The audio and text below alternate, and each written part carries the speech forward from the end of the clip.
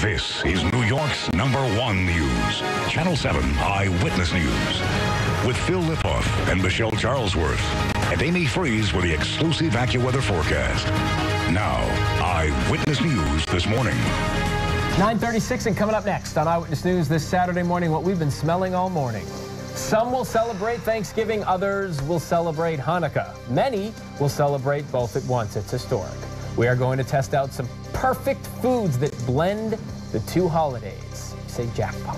947 as we come back. For a lot of people this year, the turkey is going to share the table with potato pancakes on a very special day that some people are calling Thanksgivukkah.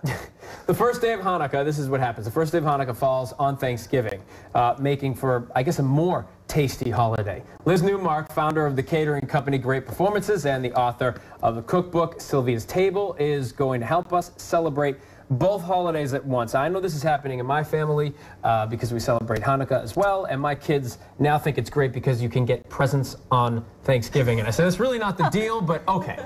But okay, right. Well, you get the presents of being able to have two of the best kind of holidays oh. together because Hanukkah is all about food and mm -hmm. eating, and so is Thanksgiving. So a mashup, so to speak, is Let's a mash it. thing. Let's do exactly. it. So we mash sort of, by starting with our shredded potatoes, adding a little bit of flour, our egg, our onion, um, and we're just going to practice a little mm -hmm. bit. And this is what we worked on this morning down do you like the to kitchen. do them crispy? I like them really crispy. Which ones? Take a look. We eat these? Because, yes. I like them very, very crispy. Yeah, me too. And there's two schools of thought. Do you put sour cream? Sour or cream. do you put uh, applesauce? Okay. That's why we're a perfect match. I know, right? or both. Now, there's a choice in the applesauces because this is homemade by me. Uh, applesauce from regular New York State apples. Why is the other one different color? Be good question. These are from my farm, Katchkie Farm, mm -hmm. crab apples. Amazing. So that is crab. You're eating over. Hello? Minute. You got to have a little. You think you know me? You don't know me. No, Listen, I know you. But you, have you a you have a secret with your oil. I asked you earlier. Tell everybody what you do. Okay, so I like a blend. Okay. I use half olive oil and I use half uh, vegetable oil. And this way, as the temperature gets hotter, it really doesn't burn the latke, and it's, it's just a nice lighter, lighter I always think either or. You blended, so it's vegetable and olive oil, See, half I and half. I think that's the whole feeling of Love the holiday. It. We're blending traditions together. Right. Why not? Now, everybody has a turkey, and turkey's turkey.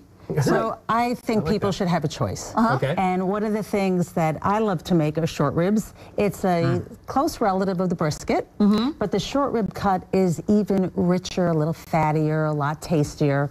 And these are braised we use some of our. Are they gorgeous? Yeah, yeah, this is gorgeous too. This is a Katchkie Farm carrot, which is in there. Oh, wow. Um, but out of your ground? Yep, Beautiful. That's how they grow.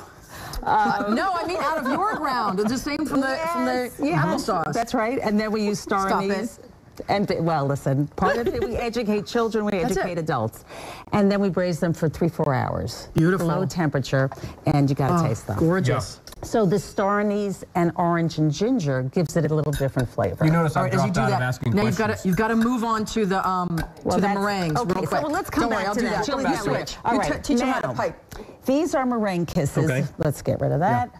And the meringue kisses are really just air okay. and a little sugar and egg. Perfect. And in celebration of Hanukkah, I've put in a little blue, a little color blue. to give it a. Cute. Okay, now this is where your hard work comes in. Let's I've got a bag for each of you. Oh my God, I love it. So, have you ever worked with a pastry bag I'm before? I'm sure Michelle has. I have not. Okay, so you want to guide it. Okay. Hold the top, mm -hmm. and it's like squeezing the toothpaste a little bit. And just, just yeah, around like that. There you go.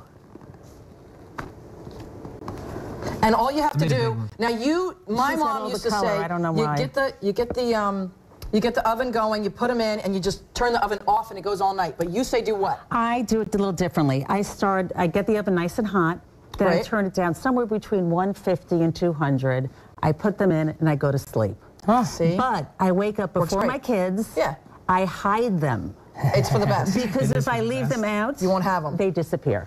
They're so great. Egg well, whites, easy to they're eat. great job. for you. It's like potato chips. You can't just eat one. You have to have like You want to try four. one? They're so good. I love the blue, have just a met? little bit.